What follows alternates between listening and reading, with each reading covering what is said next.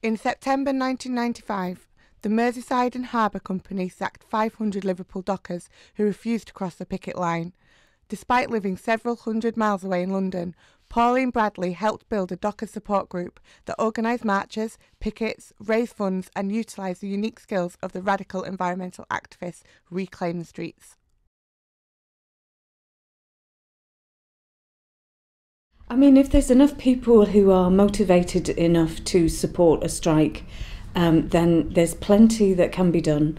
Um, and in some ways, um, people who are not on strike, who don't work at that workplace, um, have got more freedom often to, to speak up, to um, publicise the, the dispute, um, to, to organise demonstrations, to organise solidarity kind of pickets. One thing that the Liverpool Dockers asked us was to organise demonstrations. One time they came down and said that they'd been on strike for nearly a year.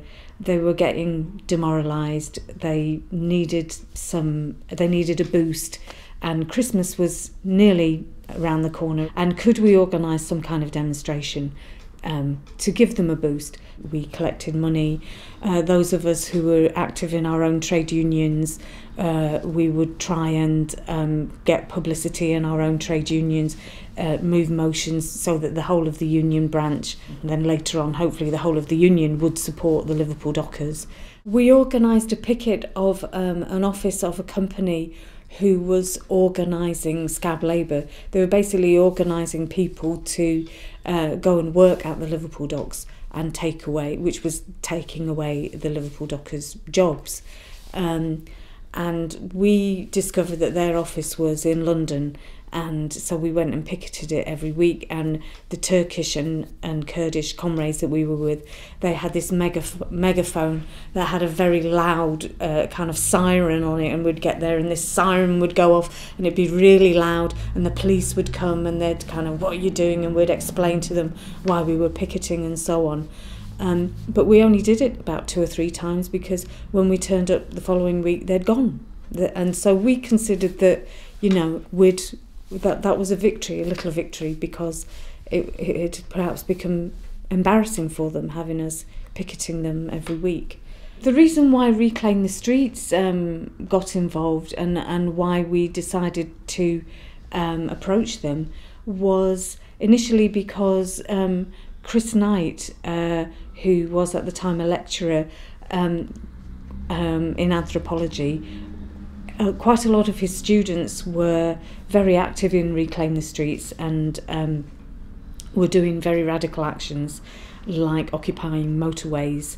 Um, and they were succeeding. They were succeeding in getting publicity, and they were succeeding in, um, in some instances, of getting roads not built. Chris pointed out this link that one of the reasons why the Liverpool Dockers were in dispute and why the management um, were didn't like them much. Why the management want to wanted to get rid of them and casualise them, and and and get workers who were less militant was because they'd they'd campaigned against. For example, they'd campaigned against having uranium um, dumped in the docks.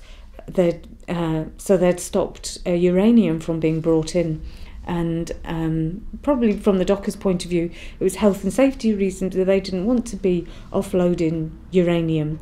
Um, but you know, from an environmental point of view, you don't want uranium sat there in the docks either. On the first year anniversary of the of the dispute, we had three days of action in Liverpool, and Reclaim the Streets were very involved in those three days of action. We had a big picket, we had people going into the grounds, climbing onto the roof of the Mersey Dock and Harbour Company, climbing up the uh, the gantry uh, of of a big crane, and just um, you know making a lot of noise, creating a, a, a big a big scene. Um, and there was quite a lot of media there. We, you know, we had contacted the media, and they did uh, come along and it did get onto the news. And that that was one of the main um, reasons why we put we all put a lot of emphasis on this three days, because again, after one year in dispute, um, the Liverpool Dockers were getting tired, and because of the censorship, you know, it, it was getting difficult for them. Um, so the fact that it did get on the news um, meant that a lot of people heard about it who hadn't previously known about it.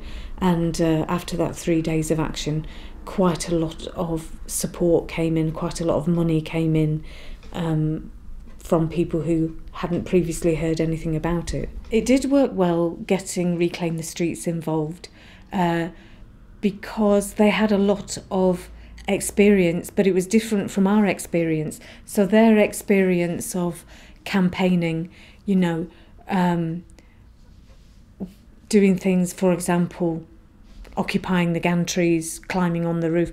The, those were the kind of things that we didn't really do. We all felt that we were kind of a bit too old for that.